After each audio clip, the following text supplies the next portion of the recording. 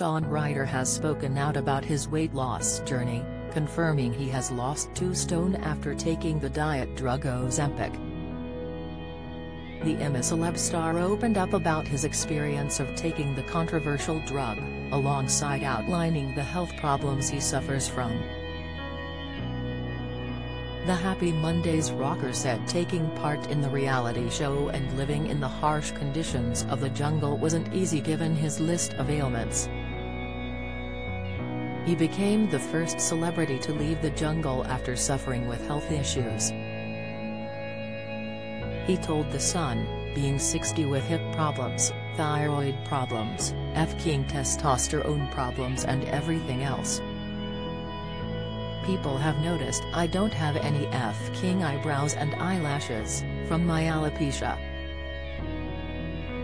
Basically, you know, the jungle slapped me right across the face and said calm down mate. Shaun revealed he struggles with an underactive thyroid and how hard it is to lose weight with the condition. Shaun continued, I think I was 16 stone and now am down to 14 because of them jabs you stick in your belly, that they say the Kardashians are on? Ozempic. I've been on them and I've lost 2 stone. Ozempic, an appetite-suppressing jab, has swept through Hollywood, with Kim and Khloe Kardashian rumored to have taken it in order to aid with weight loss. However, the drug is mostly used to treat symptoms of obesity that stems from health conditions such as diabetes and thyroid conditions.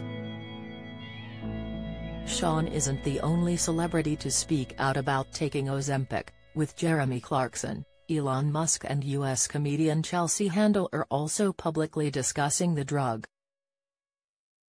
Ozempic has allowed Shaun to resume cycling, which he has said helps him stay clean from drugs.